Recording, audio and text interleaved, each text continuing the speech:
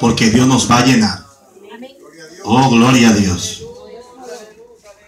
Primera de Crónicas, capítulo 15, versículo 29. ¿Cuánto lo tienen? Voy a leer en el nombre del Padre, del Hijo y del Espíritu Santo. Padre, Hijo y Espíritu Santo. Pero cuando el arca del pacto de Jehová llegó a la ciudad de David, Mical, hija de Saúl, mirando por una ventana, vio al rey David que saltaba y danzaba y lo menospreció en su corazón. Aleluya. Repita conmigo. Aleluya.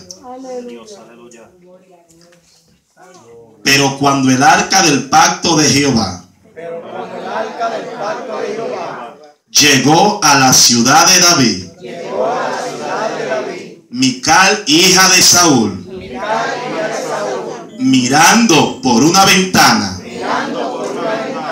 vio al rey David que saltaba y danzaba, que saltaba y danzaba, que saltaba y danzaba, que saltaba y danzaba, porque venía con la gloria de Dios porque venía con la gloria de Dios y lo menospreció y lo menospreció en su corazón. en su corazón.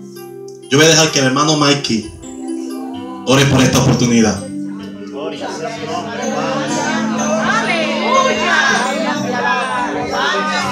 My Father God, we come forth to you, my Father God, to declare that in this day, that if there's chains that need to be broken, my Father God, that you break them, my Father God. For you are the Almighty, my Father God. For you are the King of Kings, my Father God. For you are the beginning and the end, my Father God. Oh, my Father God, we ask you to bring down your word from heaven, my Father God, to bathe us with your Holy Spirit, my Father God. Allow us to see the truth, my Father God. Give us the evidence we need to keep moving forward, my Father God. For you know everything that is in our hearts, my Father God. Let us praise you from our heart and not from our, our heads, my Father God. Let us praise you with words of meaning, my Father God, and not just letting us say words, my Father God. Oh, my Father God, you are worthy to be praised. In the name of the Father, the Son, and the Holy Spirit. Amen. Amén. Puedes sentarte. Pero yo quiero que a medida que voy predicando, tú tengas tu mente bien abierta y que tengas tu corazón dispuesto para que la palabra que el Espíritu de Dios nos dé se entre dentro de tu corazón. Y cuando esté adentro, séllala para que no se vuelva a ir. Repite conmigo. Sin su gloria, yo no quiero nada.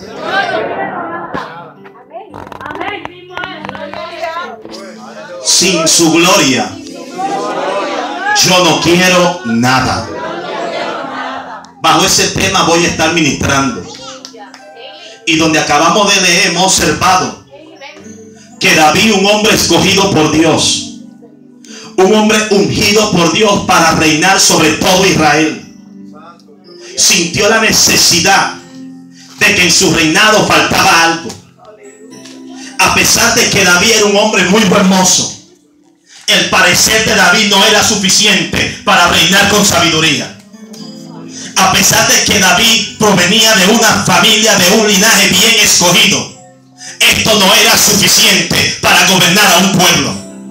A pesar de que David tenía ciertas virtudes como guerrero, esto tampoco era suficiente para gobernar un pueblo. Pero David se le prendió un bombillo. Parece que el Espíritu Santo de Dios se metió en su cabeza y le dijo lo que tú necesitas para gobernar con bendición es traer la gloria de Dios. Cuando tú traigas la gloria de Dios, todo va a resultar bien. Cuando tú traigas la gloria de Dios, todo se va a arreglar. Cuando tú traigas la gloria de Dios, lo que está torcido tendrá que enderezarse. Pero hay una dificultad con esto. ¿Por qué el arca del pacto? ¿Dónde está su origen?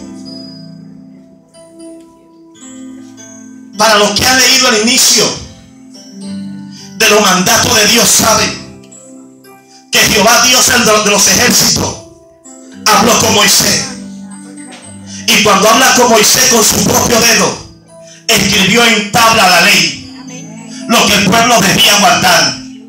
Pero también dio ordenanza para que hicieran o crearan un artefacto, una caja con cierta característica. Y se la fue explicando paso por paso de cómo él la quería. Y cuando ya estuviera terminada, Jehová le dijo que el mandamiento que le había dado, las tablas que le había puesto en la mano, que la metiera dentro del arca.